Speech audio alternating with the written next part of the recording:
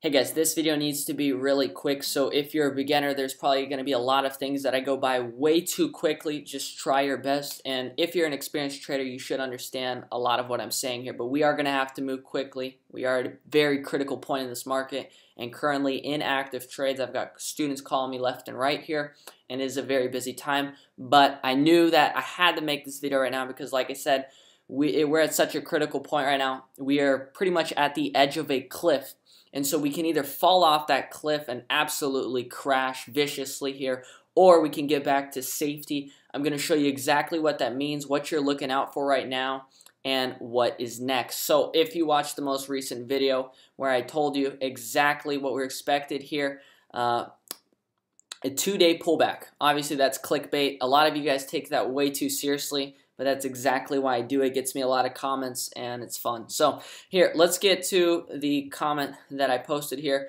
Prediction slash plan, expecting a slight pullback September 16th and 17th.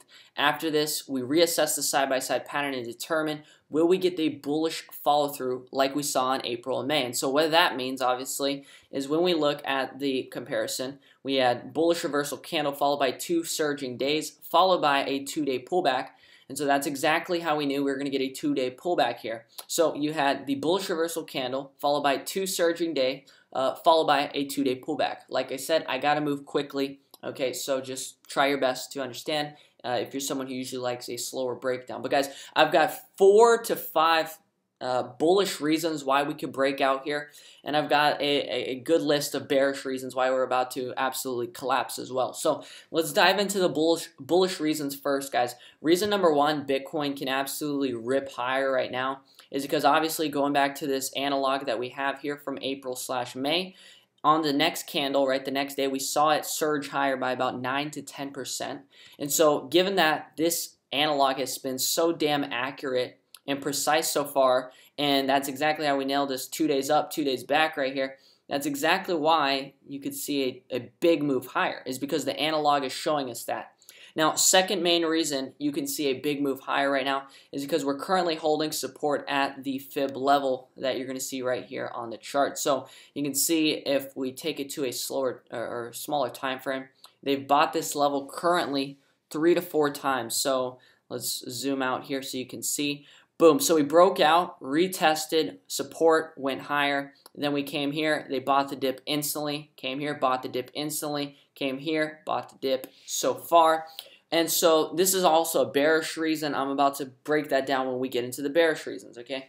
Uh, but right here, this is a bullish reason as well because we continue to hold support at this fib level. And what you'll notice if you're paying attention, this fib level is not just your average support level. It is also perfectly coinciding with, guys, a support at the blue and red line, which is the most popular moving averages, which is the 10 and 21 period moving averages. So you can see there are three supporting factors and levels that are all working together in unison to keep the price up. That is both exponential moving averages and the fib level, which is right uh, here okay, at around 46.7, 46.8. So that's three supporting levels and factors right there, those the fib and the two exponential moving averages that are working together to keep the price up right now.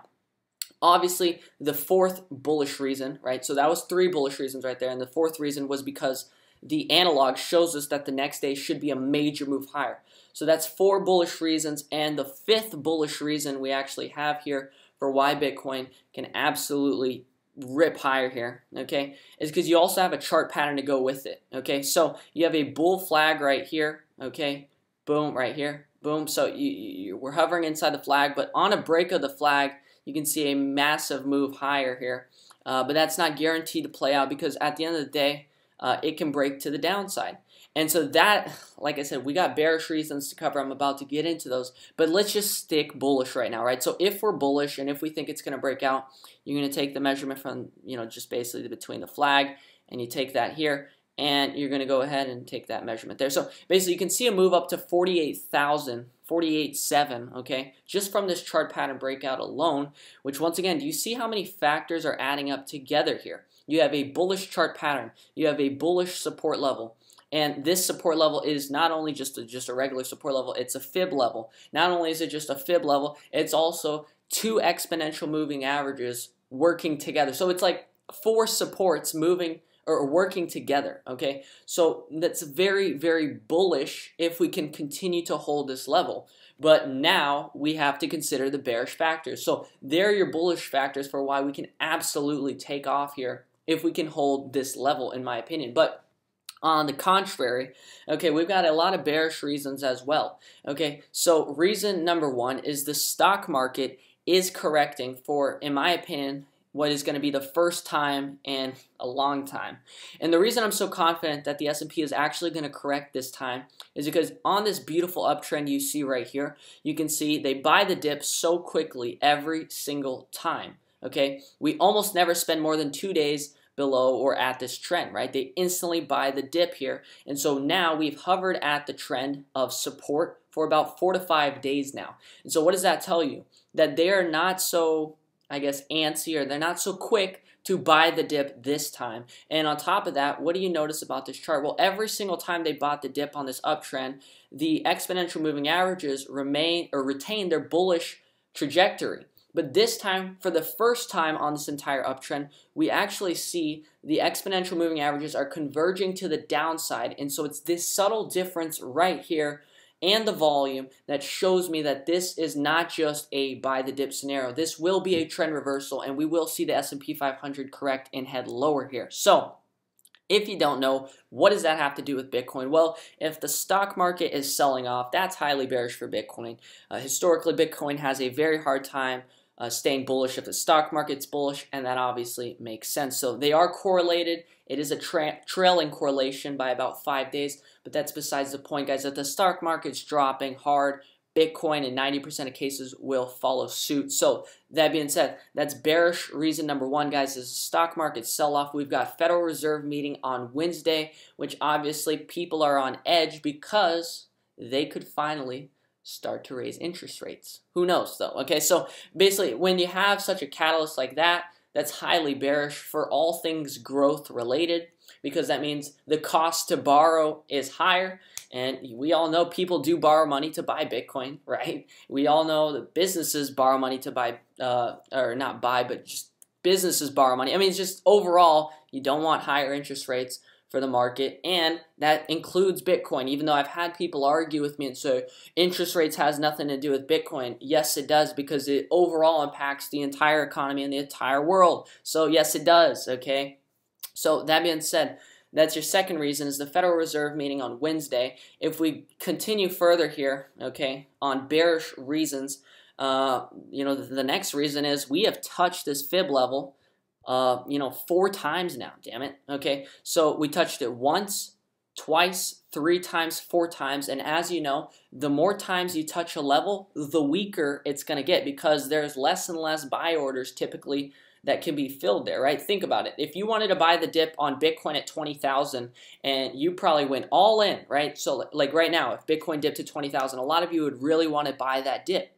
And so you probably put all your money in thinking you hit the jackpot. But guess what? Next time, so let's say it bounces from 20,000 to 23,000, back down to 20,000, you might not have any any cash left to buy that dip again because you used it all in the first dip. And so now we've dipped there four times. So the more times we get to that level, the less likely there is to be cash at that level to support and hold the price up. That's just common sense. That makes sense. That should make sense anyways. But some people like, you know, it's just weird. But okay, so that's your next bearish reason. We've already touched this level four times. And your next bearish reason, and we got more bearish reasons by the way, is as you can tell, okay, the whales are playing stupid fucking games, okay? They're playing them over and over. And this is why I don't recommend trading to mo most people, even though that's what I do full time, okay? So because or especially Bitcoin trading because the whales the, the whole game is how do I liquidate more people? How do I make more people lose money? Because to whales, it's all about, you know, think about it. If you have a million dollars worth of Bitcoin right now and you got liquidated on a million dollars worth of Bitcoin, good luck getting another million dollars of Bitcoin, right? You're going to have to work. You're going to have to earn the money to go and get back a million dollars of Bitcoin. So the whales game is how do we liquidate more people? Because the more people we liquidate, you know, we're basically getting rid of other people. Other people are getting rid of their Bitcoin, and they get to get more Bitcoin themselves, right? The more people you take out of the game, the more is left for you. Does that make sense? So that's the whole whales game. That's why you see these ridiculous pumps and dumps and manipulation because it's all about how can you liquidate other people. At least that's my opinion. And it makes a lot of sense because if you see this trend reversal here, we see this massive dump followed by a massive pump. So guess what? Everyone thinks it's, oh, oh, it's going to crash. It's going to crash. It's horrible. And so they start shorting it. Boom, the whales liquidate them. Then they dump it. Everyone's like, "Oh, we're going, we're gonna crash, we're gonna crash." Boom! The whales instantly push the higher, uh, the price higher within a matter of just an hour and liquidate those people. So that's all a whales game is: is how can we make more people get liquidated and lose money? Okay, that's why I don't recommend trading unless you're trading with a coach here at Crash Trading. Okay, and it is completely free now, and you don't pay until you get the profits which is the only program in the world that does that that I know of at least. So, okay, let's move forward. That's your second bearish. Oh, I didn't explain that reason. I was explaining the whole whale philosophy. Okay, but the reason this is bearish, okay, is because, or this can actually go both ways. But in my opinion, right, so think about it. We keep testing these levels, right? And so think about it. If you're a short seller, right, I, like, for example, if you're a short seller, you'll 180% understand what I mean. We don't like to short things when things are already going down. We want to short things when they're going up because when we short things when they're going down, we're lowering our entry price. Um, and it's already going down, which means we should have been shorting it when it was up to actually have a profit in that gap, in that area of difference right there, right? So, for example, if you're a short seller, you're not going to short the support level. Why would you short a support level? You're going to wait for it to bounce before you short it again. And so what do you see every single time? Well, we keep getting the support level. It bounces, then they dump it. It bounces, then they dump it. And so what does that tell you? Well, obviously you're a smart trader, right? So you're not going to short the fucking bottom, right? You're going to short the tops. And so what do the short sellers do? Well, they allow the price to come down. Then whoever wants to buy the dip, they keep buying the fucking dip. They they push it higher. But guess what? Then the, the, the short sellers then short the top. And then they push it down. Then they, they, they stop, right? You don't short the bottom. You let whoever wants to buy the dip, you let them buy the bottom, and then you short the bounce. So the, then it drops, then you let whoever's left buy the dip, and then you, you, you add to the short, and that's the downtrend that you're seeing right now, right? So it's all about accumulating a bigger short position when you allow these major bounces and pumps right here. Okay, at least that's my opinion. So as a smart short seller, you don't want to short the bottom, you want to short the bounces, and that's what we continue seeing is that every single time, guys, uh, the, the, the up move is getting weaker, and that's obviously what makes a downtrend. Uh, but in my opinion, this could be uh, major players accumulating major short positions, while mostly retail traders uh, and, and just smaller time traders are buying the dips. Now, I don't think retail traders can move the market to this magnitude. Uh, so there's not a 100% guaranteed way to explain this, but at least that's my view of that, okay?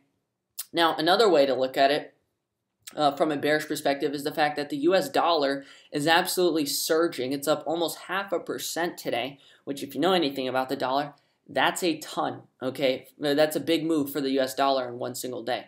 And so recently, we had this head and shoulders pattern developing, but you can see it's completely been invalidated. So here's the left shoulder, here's the head, and we were forming the right shoulder, but as you can see, we just broke through the neckline of the head and shoulders pattern. So that just invalidated a bearish scenario for the dollar, which is bullish for uh, Bitcoin and the stock market. And that makes sense for two reasons. Number one, we have the Federal Reserve meeting, which means if they raise interest rates, that it would obviously you know cause the dollar to be more valuable.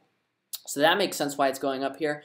And reason number two, well, think about it. Bitcoin and the stock market are selling off which means when they're selling off, the dollar literally becomes more valuable because you are giving up, you are selling your either your stocks, your assets, right? You're selling your Bitcoin, and you are literally, when you sell your position, you are literally getting US dollars for that position. So when you sell your Bitcoin, you are saying that you prefer, in that moment, you prefer US dollars over the Bitcoin, right? So that's what causes the dollar to go higher because people are selling their positions because the market is going down. That gives the dollar more value. So when the market crashes, the dollar spikes out higher. And so what do we see right now? The dollar is spiking out higher. Now, obviously, it's not a crash right now, but the market is selling off nicely. Okay, so that makes sense why the dollar is going higher here. That makes sense why the head and shoulders has now been invalidated, and that makes sense why the dollar can continue even higher, which is highly bearish for Bitcoin and the stock market. So those are your main reasons,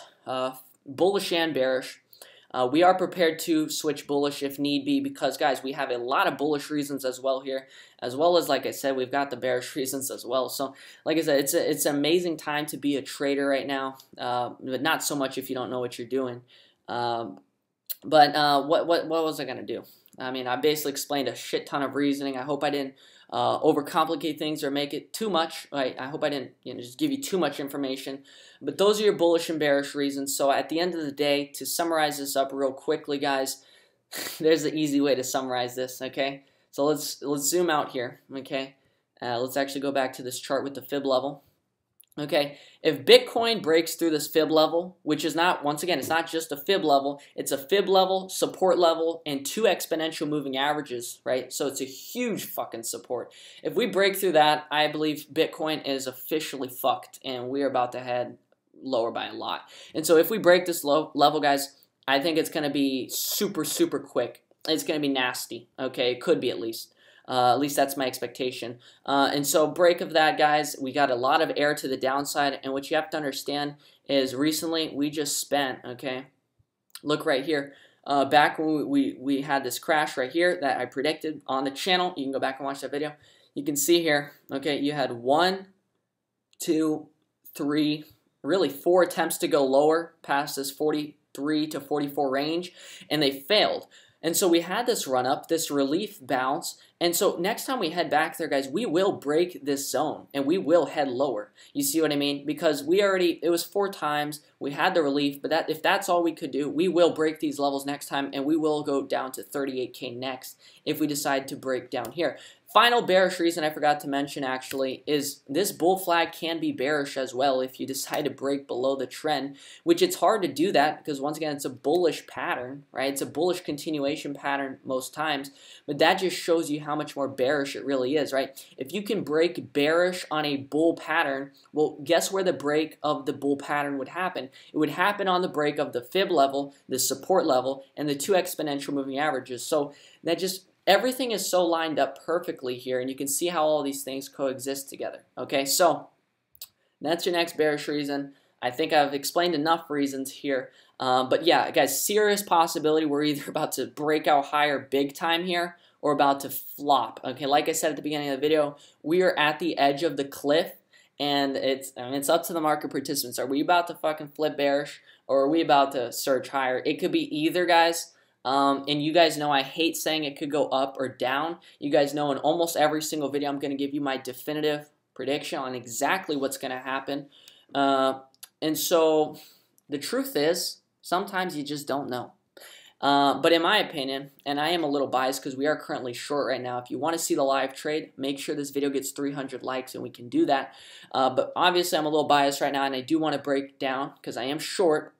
And I mean, God damn, I literally posted this video telling you exactly what, what was going to happen, expecting slight pullback September 16th and 17th. You know, so like this is all expected here, and now the the the, the key is will we hold up here? You know, um, but so far the price action is very weak here. If you're a bull, it, you don't want to see it hovering around the support so long. Like I said, the support continues to get weaker and weaker. We don't see a lot of buyers stepping in right now. Obviously, that can change at a moment's notice because, I mean, we know how quickly whales can just pump the price in a matter of seconds, right? So that can all change. But as of now, I am obviously leaning bearish here for a breakdown, which would be, guys, I'm just going to keep it honest with you and straight here.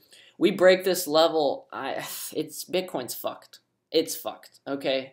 Uh, I'm sure a lot of people dislike the video for that. I don't give a fuck, okay? Bitcoin is screwed if we break that level, and we are about to head a lot lower. So this is your pivotal point, guys. Like I said, critical, critical point in the charts right now. And those are all the factors you have to consider if you're a trader right now. At least that's what I'm considering. So as you can tell, we're not like other channels out there who just come up with narratives and stories and say that, you know, Bitcoin's going to go to 100,000, blah, blah, blah, this, that, okay? We actually study the charts, and when you can do that, you can come up with your own analysis and your own ideas and know when you're going to be bullish and know when you're going to be bearish based on the risk to reward and the opportunity that is indeed in front of you. So, yeah, that's gonna wrap it up for today's video. Like I said, I had to really speed through this, guys, because we're busy. I got, I literally got a student calling like every five seconds right now. Okay, not actually like every five minutes. So is we're in you know actively trading this. So my point is, guys, uh, I hope this video wasn't too fast, but at the end of the day, I hope you got something out of it. Those are all your bullish and bearish reasons, and you have my overall bias.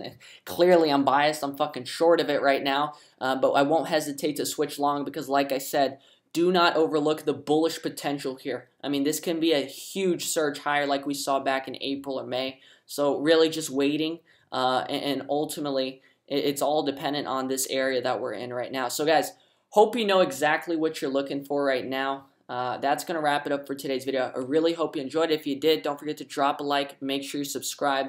There was a lot more reasons I probably left out, but like I said, we're kind of in a rush here, and we're very, very busy. So if you want to be busy, if you want to trade with us, guys, crashtrading.com, you can sign up and you can trade with the coach for completely free and you only pay after you make your profits. This obviously is the best time to be trading is during a crash, during market circumstances and conditions like these. So if you've been wanting to make extra profit, you know, extra monthly income, uh, that is the way to do it uh, here with a coach at Crash Trading Because, like I said, I explained like what two minutes today about those whales. They all they want to do is liquidate you. So when you try to trade on your own, if you don't have the experience and, and the real understanding of the charts and, and the movement patterns, the, the whales will liquidate you and they will get you eventually. Okay, you might get lucky on a couple trades, but you will get killed, and that that's just a sad fact. And as we all know, 90% of traders fail, and, and I'd say probably even more of them fail in Bitcoin because Bitcoin, it's not like the stock market where some person, you know, stock market, nobody owns 10% of the market, you know, but Bitcoin, you know, people do own massive amounts of the supply. So there you guys go. That's going to wrap it up for today's video, and I'll see you on the next one. Take care.